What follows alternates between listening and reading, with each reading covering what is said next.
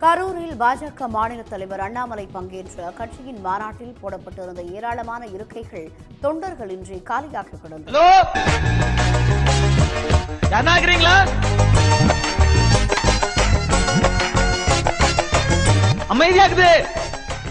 ரொம்ப ரொம்ப அமைதியாகுது. தாங்க முடியல.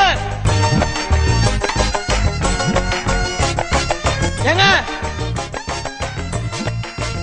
நான் பேசுறது காதல் உள்ளதா மாநாட்டில் எட்டாயிரத்து ஐநூறு பேர் அமரும் வகையில் நாற்காலிகள் போடப்பட்டிருந்தன. இதில் மேடையின் முன்பகுதியில் போடப்பட்டிருந்த நாற்காலிகளில் தொண்டர்கள் இருந்தனர். பின்னால் இருந்த நாற்காலிகள் தொண்டர்கள் இன்றி காலியாக இருந்தன. ஆம் இது என் பாச கூட்டம் ஆமா ஆமா காசு வாங்கின கூட்டம். இந்த கூட்டத்தை கூட்டப்பட்ட கஷ்டம் எங்களுக்கு தானே தெரியும். ஈரோட்டில் பாஜக மாநில தலைவர் அண்ணாமலை பங்கேற்ற பொதுக்கூட்டத்தில் ஒன்பது பேரின் பர்ஸ் மற்றும் செல்போன் திருடப்பட்டது. மூவாயிரம் ஆயிரத்தி எண்ணூறு. நூத்தி பத்து. வேண்டதான் நல்லா இருக்கும்.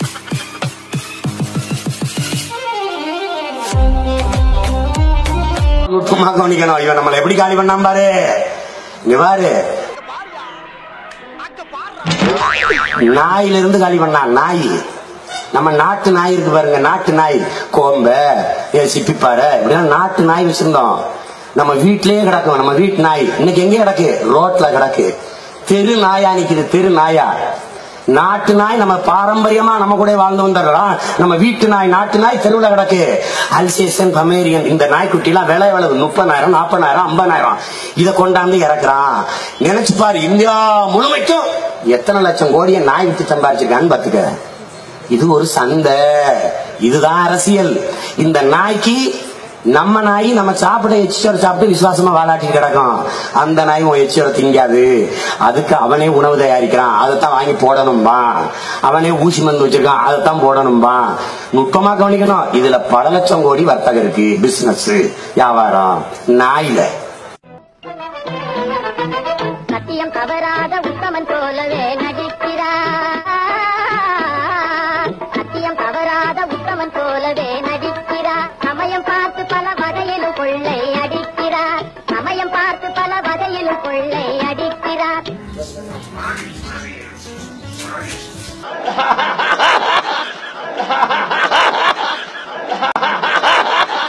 ஏழு வயசு மக அப்பா நீங்க அண்ணனுக்கு விவசாய சின்னத்துல போடுவீங்களாப்பா?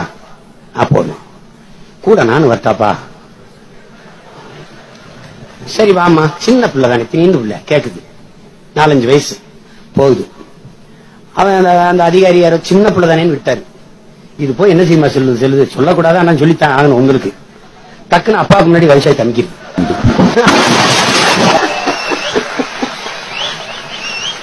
இது கள்ள ஓட்டு கணக்குல வராது. ரொம்ப நல்ல ஓட்டு கணக்குல வந்து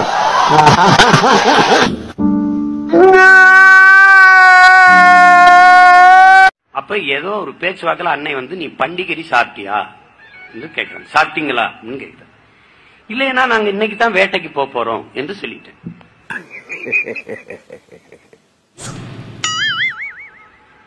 இது இது வந்து நான் ஒன்னும் தெரியாம ஒரு யதார்த்தமா ஒரு சொல்லிட்டேன்.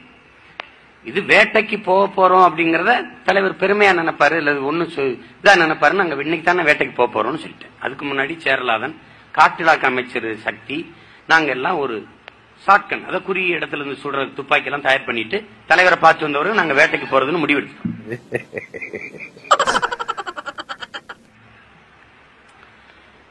அதாவது நீங்க என் வாழ்க்கை நான் வந்து பயந்து நடுங்கினது அந்த நேரம் தான் இன்னைக்கு தானன்னா வேட்டைக்கு போக போறோம்னு சொன்ன உடனே நாற்காலியிலிருந்து எழுந்து என்ன நடக்குதுங்க? என்ன நடக்குது? ஏதாவது ஒண்ணுனா யார் பதில் சொல்வா கத்துறாரு காடே அதிருது. ஒருத்தர் கூட இல்ல. பொட்டம்மான் இல்ல நடேசன் இல்ல எல்லாரும் ஓடிட்டாங்க. கடைசியா மெதுவா மெதுவா வந்து ரஞ்சி தப்பாங்கிற அந்த தமிழேந்தி வந்து தலைவர்கிட்ட தம்பி யாருக்கும் தெரியாது தம்பி. சேரா ஏதோ ஒழுங்கு பண்ணியிருப்பான் போல இருக்கு அப்படின்னு சொன்னவன அவனை திட்டுறது.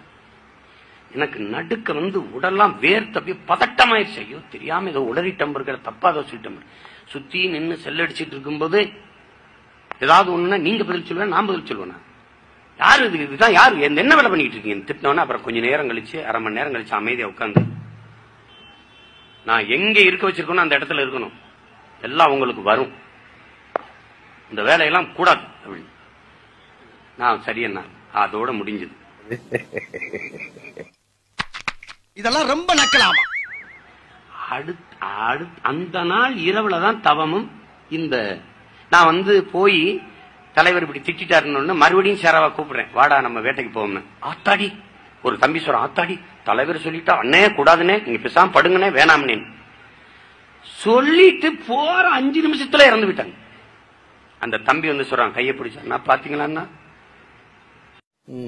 இந்த கலையை பத்தி பயிற்சிக்காக கூப்பிட்டு ஆளுக்கு பத்து நிமிஷம் அரை மணி நேரம் பேசினதுதான். எங்க போய் என்னமோ உலக அரசியல அவர்கிட்ட உட்கார்ந்து பேசின மாதிரி. ஒரு பீலா விடுறோம்னே வச்சுக்கையா பீலாவு கூட ஒரு உயர்வா விட்டமா இல்லையா? அந்த செயற்படுங்க. டேய் நீ போ படுவா பரதேசி உன்னை மீட்ல வந்து மிதிக்கிறான் சமீப காலமா நம்ம நாட்டுல அடிக்கடி தேர்தல் வந்துகிட்டே இருக்கு. பிரதமர்களும் மாறி மாறி வந்துகிட்டே இருக்காங்க. ஒரு ஸ்ட்ராங்கான பார்லிமெண்ட் அமையணும்னா என்ன செய்யலாம்? அதாவது சங்கர் சிமெண்ட் வாங்கி கட்டினா பார்லிமெண்ட் ரொம்ப ஸ்ட்ராங்கா இருக்கும். சங்கர் சிமெண்ட்ல கட்டினா சங்கர் திட்ட மாட்டாரா யார் யாரு? கேக்குற கேள்வியை பார்த்தா ரிப்போர்ட்டர் மாதிரி தெரியும் சென்ட்ரல் கவர்மெண்ட்டுக்கு தான் நிறைய அதிகாரம் இருக்கு. நம்ம தமிழ்நாட்டுக்கு அதிக அதிகாரம் கிடைக்கிறதுக்கு உங்க யோசனை என்ன சார் குட் கொஸ்டின் இப்ப என்ன சொல்ல வரேன்னா இங்க இருக்கக்கூடிய தமிழ்நாட அனுமார் சஞ்சீவமலை தூக்குன மாதிரி அப்படியே அலேக்கா ஷிஃப்ட் பண்ணி டெல்லிக்கு பக்கத்துல வச்சிட்டோம்னா அவன் கொடுக்கக்கூடிய முழு அதிகாரத்தையும் முதல்ல நம்ம வாங்கிக்கிட்டு மிச்ச மீதிய பூரா பக்கத்துல இருக்கணும் பூரா கொடுக்கலாம். இத சொன்னா நம்மள பைத்தியக்காரன்னு சொல்றாங்க. லூஸ் மாதிரி பேசுறாரு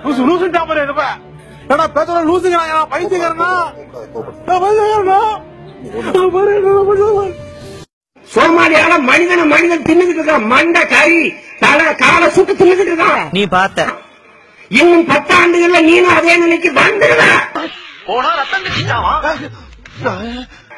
அதுக்கு முன்னாடி எனக்கு ஓட்ட போட்டு முதலமைச்சர் ஆக்கிடு. இல்லைன்னா செத்துருவேன்.